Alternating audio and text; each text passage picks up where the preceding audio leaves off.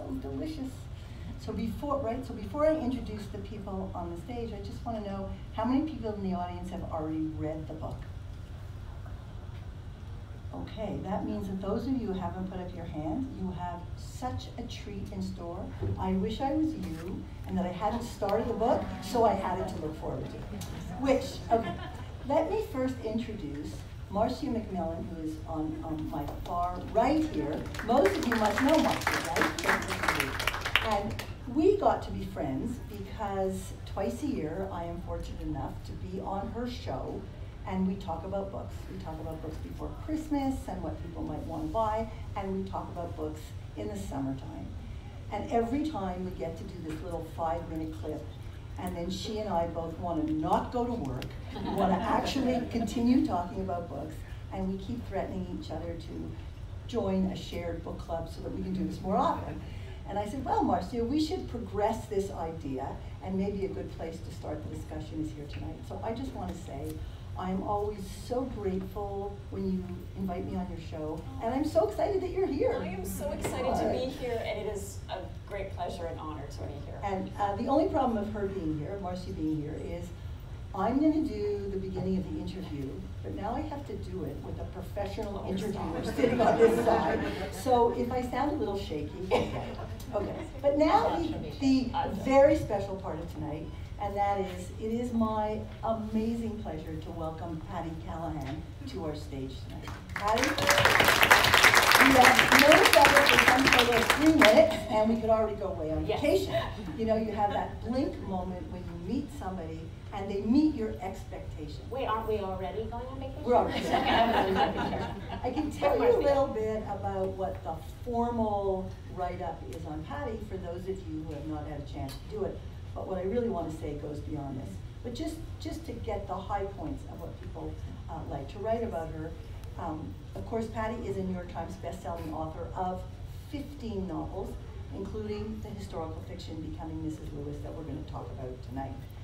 Her books include Losing the Moon, Between the Tides, Where the River Runs, When Light Breaks, Between the Tides, The Art of Keeping Secrets, Driftwood, Summer, The Perfect Love Song, A Holiday Story, blah, blah, and blah, blah, blah. You have to read them all because you get tired just thinking of them. A finalist in the Townsend Prize for Fiction, an Indie Next Pick, an Oprah Pick, and a multiple nominee for the Southern Independent Booksellers Alliance Novel of the Year. And Patti is published in numerous languages, and her articles and essays have appeared in magazines such as Southern Living, Pink, Writer's Digest, Portico, etc., etc. That's the formal part that's on the bio. More recently, it's interesting to note that reviews of this book have included little phrases like enthralling writing, totally breathtaking storytelling ability, those kinds of adjectives. But what I really want to say is this, and I shared it with Patti a moment ago. Um, I effectively read books for a living.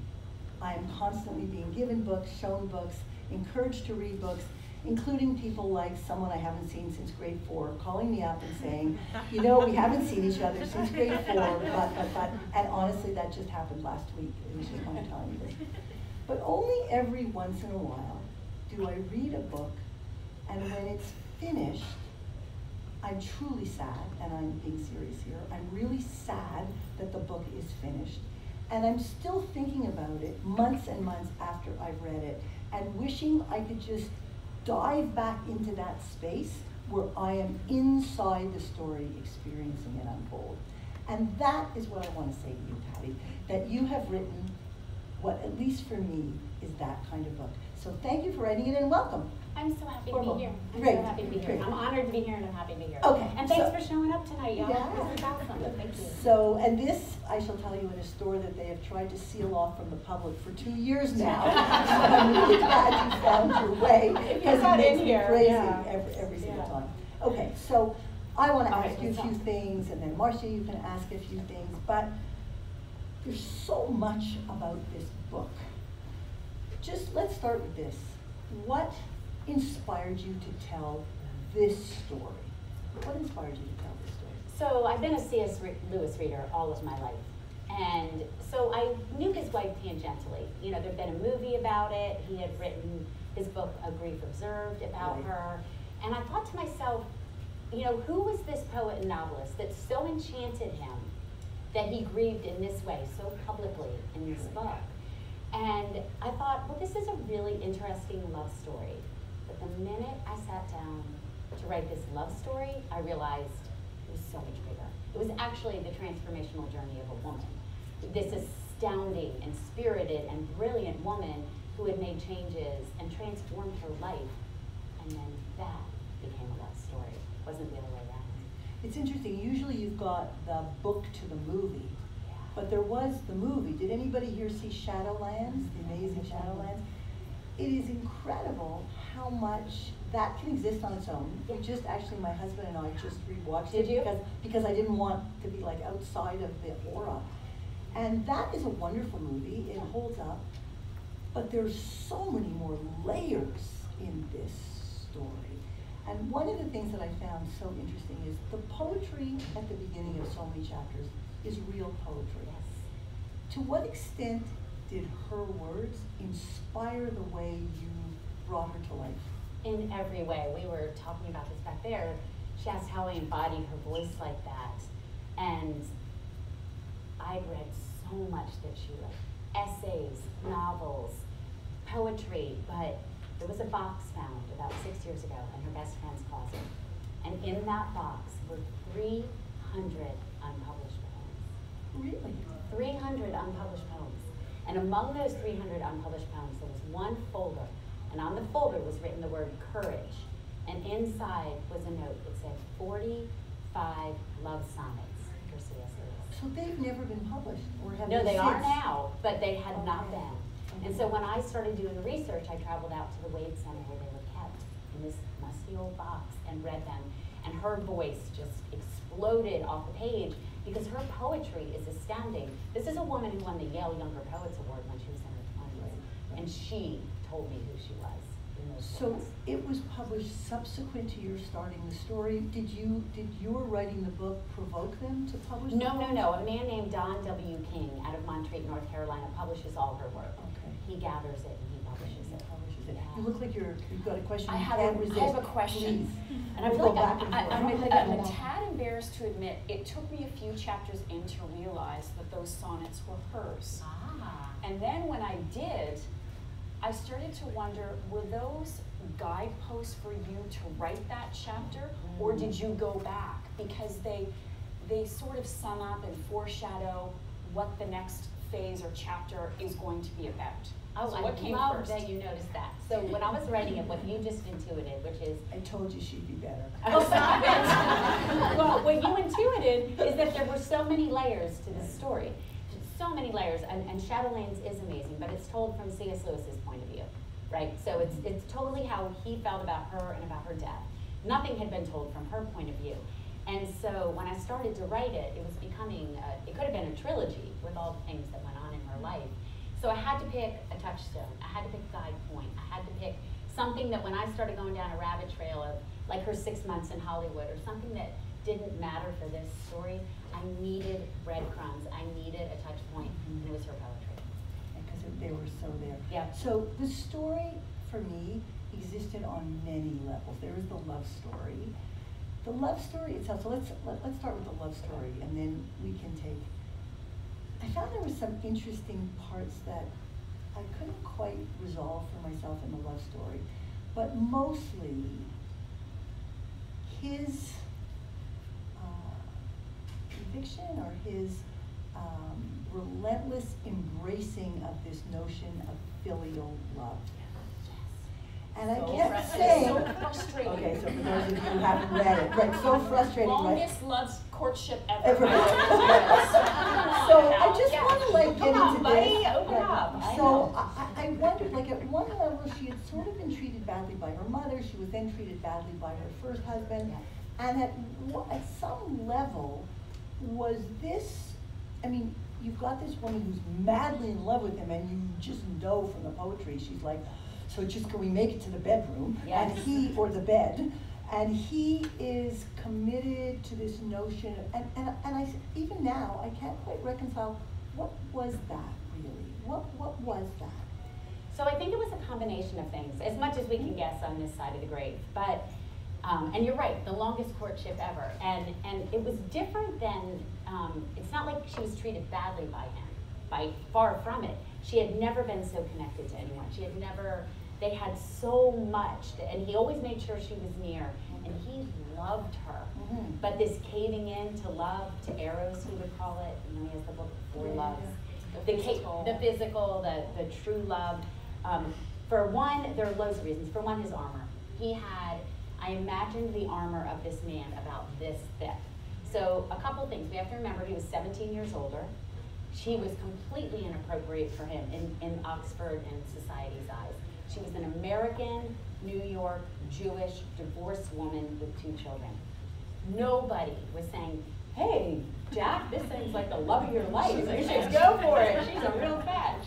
Um, you know, so he had society against him. He had his own virtues, meaning the church was against it. He had the armor of, of believing that that was over for him, that love was not going to find him, that he was a confirmed old bachelor living in a man's man's world. He lived with his brother. You think he was conflicted sexually?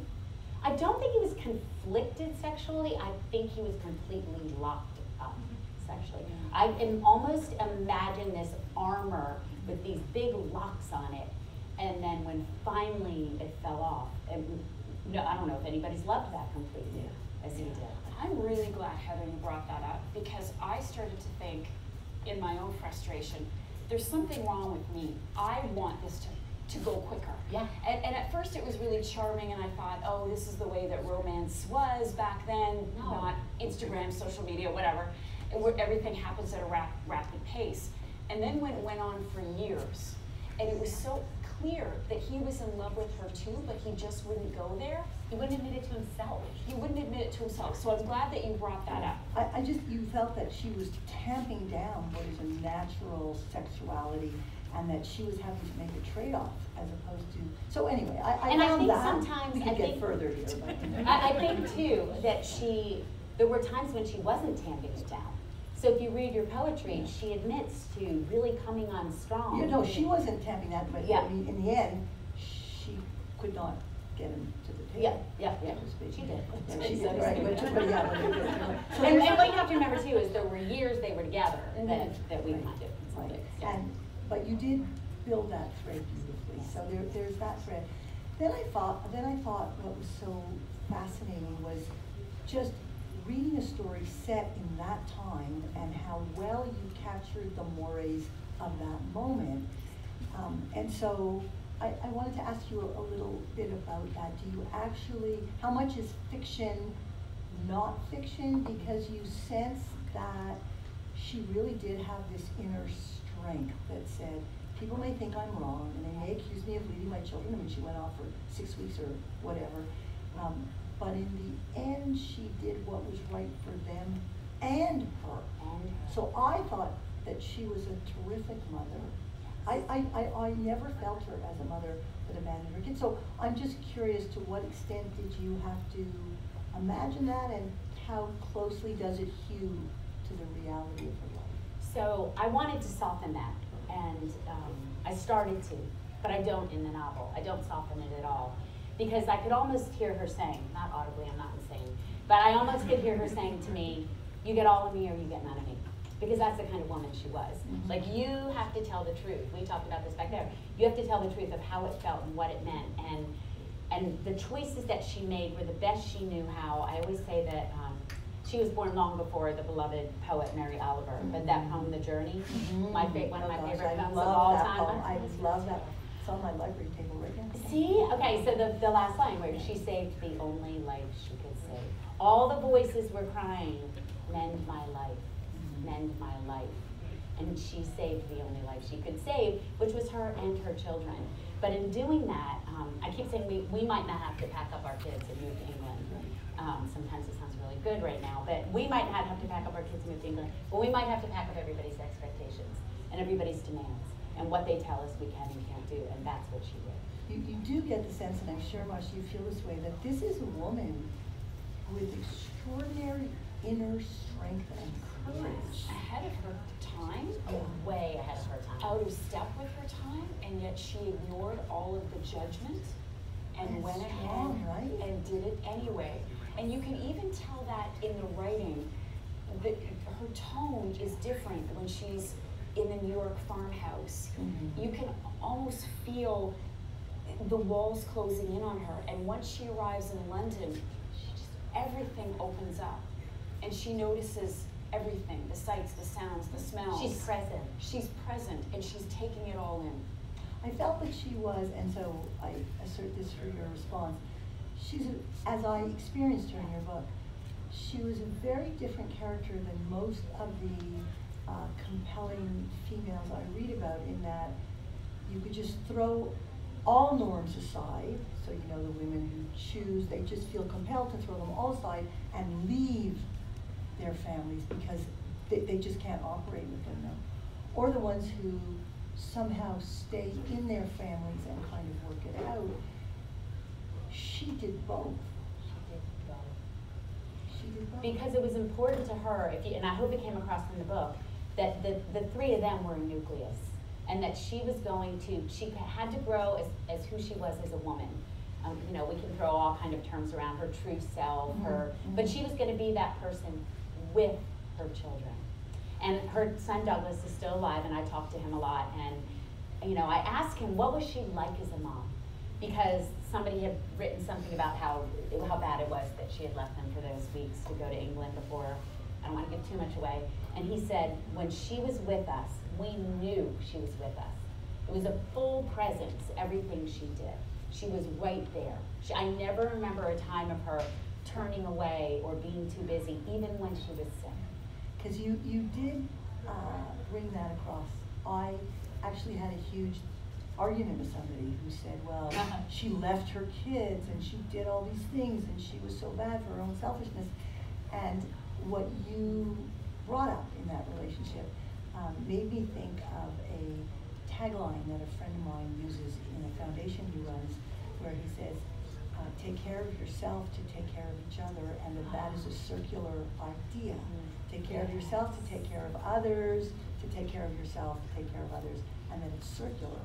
And so if you, so, so that thread is a really interesting, her role as a woman against those times. Because subsuming who she was to take care of them would have in the end actually destroyed all of them. Mm-hmm. You know, Mhm. to, to, to go under the pressure of him and to subsume and say, this is okay, I'll figure it out, would have destroyed even her children. I agree. Yeah. The writing itself, um, I really think the writing is beautiful. I found that it felt so well edited. I didn't, I, I, occasionally you read a book you love, but you just wish there was a wee bit more editing. This book felt like there was not a wasted word. So share a little bit about your writing process and how you felt about the final draft script and. So when I first started this book, um, I was, we were talking earlier, I was quite literally obsessed. It was one of the only books I've ever written where even when I was doing something else, I was thinking. I was thinking about her. If I was listening to a podcast, it had to do with them. If I was reading extra work, it was about them. If I was taking a walk, I was doing scenes in my head. If I was traveling, I was traveling somewhere they lived and went. Because if you read about it in the book, I went there, everywhere in the book. And so I just became, t- to the point when I was writing it, so enveloped in it that it actually was too long. The first draft was about 700 pages. You have about 420.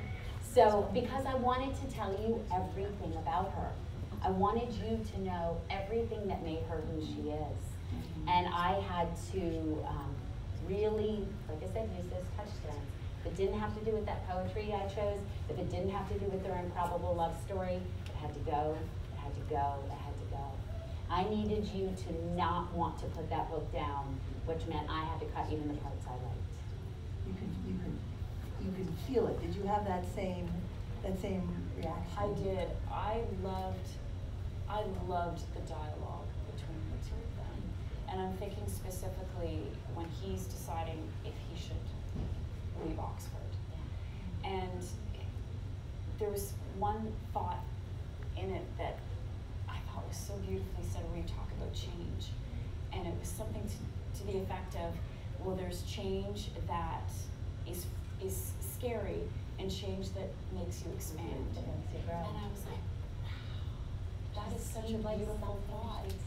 It seemed like something that she would say, and I, again, I thought, how did you capture her voice? How, how would you know that she would say that to him? Because and that she'd those would be the it. right words, And what he needed at the time. and what he needed the exact moment. Which goes back to what you said, to what you said about it taking so long, yet him always wanting her near. He needed her. He wanted to talk through everything with her. When she lived in London, he bought her a house in Oxford, and yet he still wasn't caving in that way. And it's because she could say things like that to him. When he was stuck or dry, she knew what to say, what to do.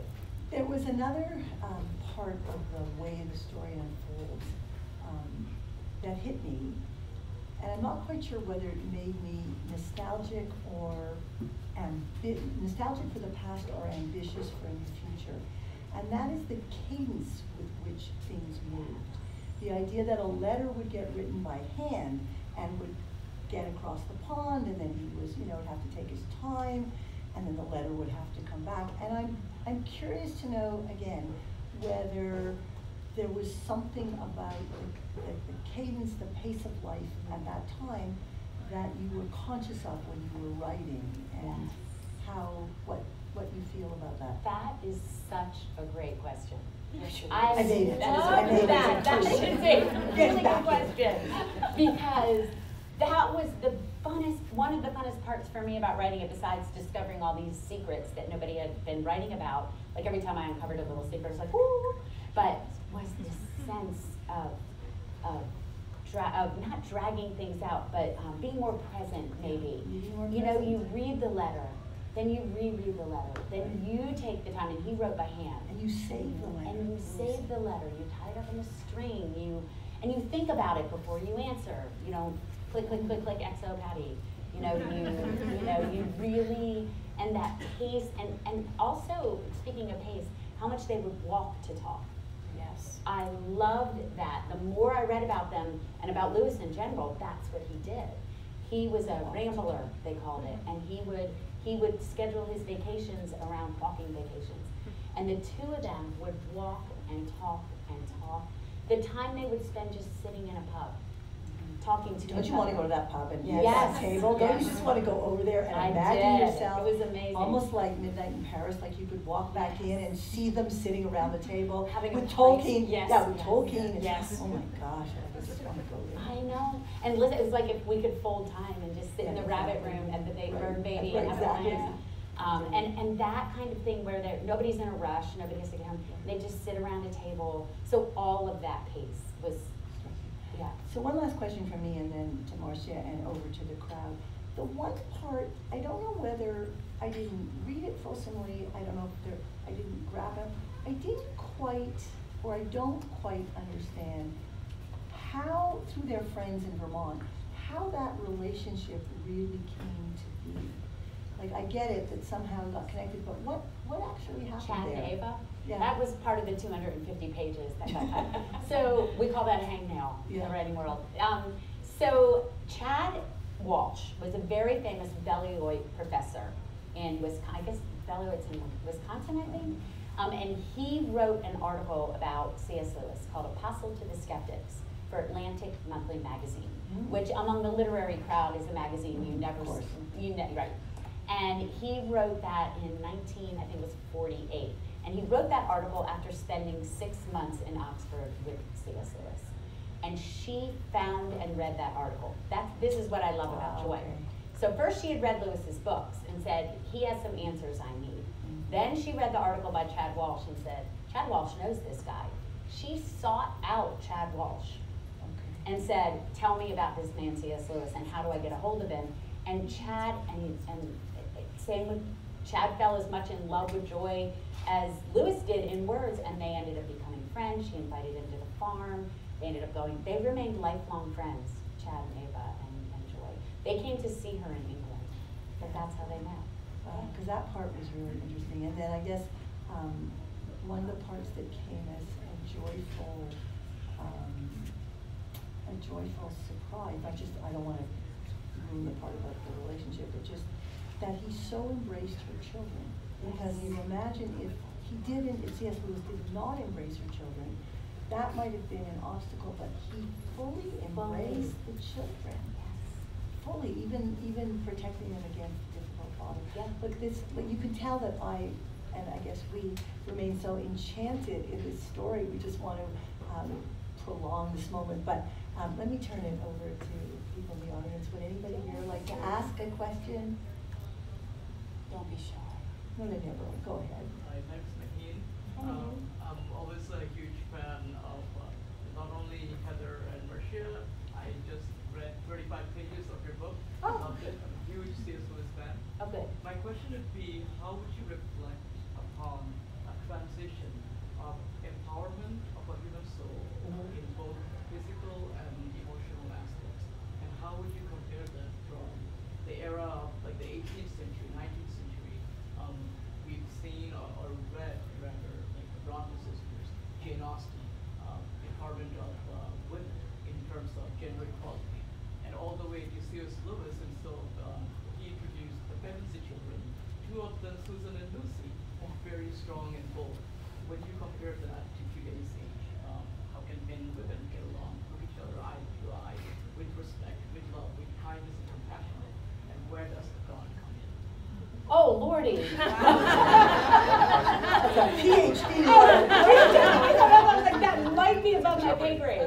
Um, But I will say this, that I think the transformational journey for any human, I'm gonna simplify it because that is a huge question. Hmm. But I think that the transformational journey that any human makes, male or female, is about change and about being present to what's true for you. So I, I always say that Joy wrote this, one of my favorite quotes, I keep it in my office, which is, if we should ever grow brave, what on earth would become of us? And she wrote that in an essay and didn't answer it in the essay because she answered that question with her life. It reminds me a little bit of that Rumi poem where he says we have to live into the questions. And I think transformational journeys for human beings as a whole is about living into the questions and being open Wow. to moving through things with, with honesty and truth. And, and I think that's why Joy was such a hero to me, is because she asked the question and then answered it with her life. And I think that's what any transformational journey is. And as far as the Bronte sisters and PH, like, um, I, um, I don't know, but that's my simplest. Do you- Well, do you That's think a beautiful thought, though, that it is about the questions, the real questions, and then the journey they take us on. Yeah. And not ignoring the questions, answering them for ourselves and, and entering into them. And the, que- the questions are different for all of us, but being true to the questions that come up for us. You know, the truth of what that is for us And is, what. And then I guess if you ask the true questions, you inevitably will face some uh, scary, challenging Yes. moments, which Mhm. she faced. You know, Mhm. she turns up in London. She, so such a good. Yeah. So was there a moment that you would say that was a spiritual awakening for her? Or was it as Heather describes, the journey with a few with a few Stops along the Yes. way. So, you know, when she writes about her childhood, she says that she, for example, when she was 11 years old, she would be walking through a winter forest, and all of a sudden the world would come alive. The leaves, the light laying on the leaves, the way the world looked, and she would know there was something more. And then it was gone. And she would know it wasn't true, and she would let it go. Then there would be another moment and another moment. But the book, the moment that's in the book that really set her off on the journey was when her husband threatened suicide and she realized that a presence greater than herself was in the room. And instead of ignoring that and saying, well, there's no, there's no such thing as something more, she kept asking the questions, she kept asking the questions, she kept asking the questions. There's a poet I love named David Whyte um, out of Ireland, and he says, he calls it the beautiful question. And I love that. Like you ask the beautiful, if you ask better questions, you're going to get better answers. Um, Yeah. Another question? Yes. So this is an easy one. Who compared? I'm sure it is. That's But lovely. I'm curious about how you wrote it and um, how long did it take for you to write this book? Mhm. And it seems like you did all the research yourself. Mhm, I did. So you did all the research. So interesting. And how long did it take for you to read, to write this book? So the research and the writing were combined. I don't do them in a separate way. They're very braided together. Um, so I write and then I hit a wall and I need to know more about something, or I find something out and go back and change what I've already written. But on the whole, it took me between three and a half or four years. Three years for the bulk of it, though. And how many versions did you have from the big Oh, one Lord. to? Uh, I, I don't, twelve? Interesting. Yeah, yeah. I look forward to reading. That, that is the, um, that is the, um, kind of provocative part when, for me, when, when I hear writers talk about writing and rewriting and writing and throwing out, and that's hard, like the writing is So a baby, right? Uh, the, today, I saw, um, an author I still love, Daniel Silva, was interviewed this morning on television, and he talked about this most recent book that he wrote, and he imagined a future, and then it said in the uh, Middle East, and, he imagined a future, and then all of a sudden the Khashoggi thing happened, and the relevance of the book just disappeared, and he had 220 pages of the book written, and he had to throw it out, and I just thought, wow, right? That is one of the things that is so So uh, hard. hard, and it makes us want to respect writers even more. That willingness to work and throw out and work and throw out, and be willing to go back. So They call it the kill your darlings. Um, we have a really great writer here, Rachel McMillan. And um, she, she posted something the other day about some pages she had thrown away, and she said she considered them dress rehearsal. I was like, yes, I love that. Because you put, you put them away, you cut them, you put them in a file, and you mourn them. But if you consider it dress rehearsal, they don't feel like such a waste. Yeah. Another question, Um, yes. So can I continue with that question? Do you Sure. have a place that you write or a time of day or how disciplined do you have to be? I do. I have a place, I have an office in my house um, where I work. And when I first started writing, my kids were five, three, and one. And so. How would you have time I know, write? right? So I was so obsessed. I used to be a nurse. My, my education is in nurse. My master's degree is in pediatric nursing. So writing wasn't. So when I first decided to do this thing, I either had to make the time or, or just let it be a dream that shimmered out there. So when I first started writing, I was writing from 4.30 to 6.30 in the morning. I do not do that anymore, like, at all. And, no way. But it was that important to me. And so what that did do was start a habit where I write in the morning.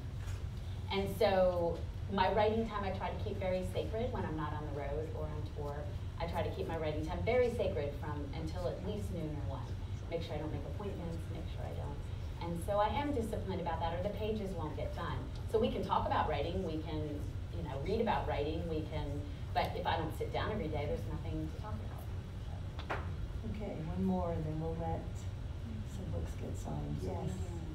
Um, um, I was just wondering kind of why you chose the scene at the zoo with the. So, Jo- can you, Um, I was just wondering why you chose the scene at the, for the prologue at the zoo with the lion and kind of the correlation between maybe another lion. With that, With the- yeah. Which? And the word broke. Um, so, when I started doing my research, I realized that nobody had really made the connection between the lions in her life and, of course, the great lion, Aslan.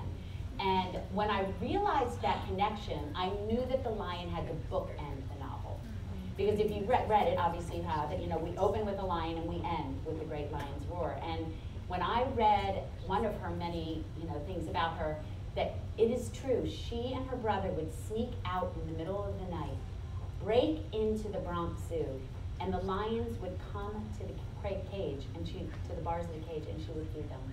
Now, the line that I end that prologue with, which is, I'm so sorry, or as you say here, I'm so sorry.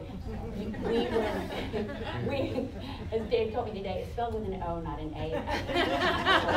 Sorry, I'm so sorry. We were meant to be free. And when she said that, which sounds crazy, like I heard her voice, I knew that was the whole theme of the book, was we were meant to be free. Mm. And so I knew I had to open with that scene, and then we closed with the lion also. And there were the lion theme entered often in her life. I couldn't show all of it, but she helped raise the MGM lion when she was in Hollywood.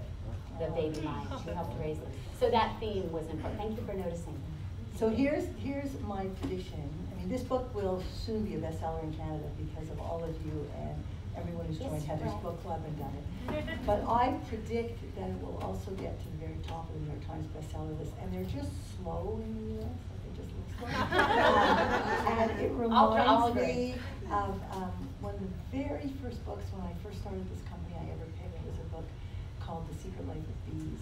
Oh, yes. And that book, that book became a bestseller in Canada two and a half years, two and a half years before it hit the radar. If you go back and check, it was a bestseller in Canada, two and a half years before it surfaced in the US because it takes a long time given a whole bunch of things, you know, that are going on there. to talk about. Yeah, um, but this book will make it. This book has all of the good elements and we are so lucky that you wrote it and that you wrote it with this. So just thank you so much. Thank you. And Marcia, we have to make this a show. We have to take the We show on the road. can I just do the other books with you? Yeah, Can I the our book club? Um, Look, they said yes on stage. Um, Thank you all so much for coming. Thank you for coming. caring about reading and about stories and about sharing this passion with us. It is so wonderful. Thank you.